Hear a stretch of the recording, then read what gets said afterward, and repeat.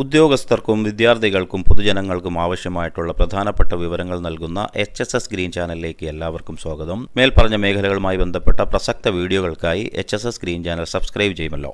സാമ്പത്തിക പ്രതിസന്ധി കണക്കിലെടുത്ത് ചിലവുകൾ ചുരുക്കാൻ കേന്ദ്ര ധനമന്ത്രാലയം മറ്റു വകുപ്പുകൾക്ക് നിർദ്ദേശം നൽകിയിരിക്കുന്നു. ജീവനക്കാരുടെ ഓവർ ടൈം അലവൻസും പാരിതോഷികങ്ങളും വെട്ടിക്കുറയ്ക്കും. കോവിഡ് പ്രതിരോധ സാമഗ്രികൾക്ക് നികുതി ഇളവ് പ്രഖ്യാപിക്കണമെന്ന സംസ്ഥാനങ്ങളുടെ ആവശ്യത്തിൽ ജി കൗൺസിൽ യോഗം ഇന്ന് തീരുമാനമെടുക്കും.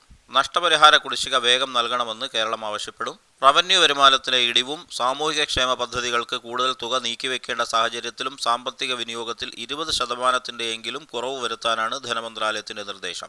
അനാവശ്യ ചെലവുകൾ ഒഴിവാക്കണം. ഓവർടൈം അലവൻസുകളും പാരിതോഷികങ്ങളും വെട്ടിക്കുറയ്ക്കും. ഓഫീസുകൾ പുതുക്കലും പാടില്ല. അത്യാവശ്യമല്ലാത്ത പദ്ധതികൾക്കുള്ള ധനവിനിയോഗത്തിലും കുറവ് വരുത്തും. കോവിഡ് പ്രതിസന്ധിയിൽ ഇത് രണ്ടാം തവണയാണ് ചെലവ് ചുരുക്കൽ പ്രഖ്യാപിക്കുന്നത്. കഴിഞ്ഞ സാമ്പത്തിക വർഷം കേന്ദ്ര ജീവനക്കാരുടെ പുതുക്കിയ ക്ഷാമബത്ത പിൻവലിച്ചിരുന്നു.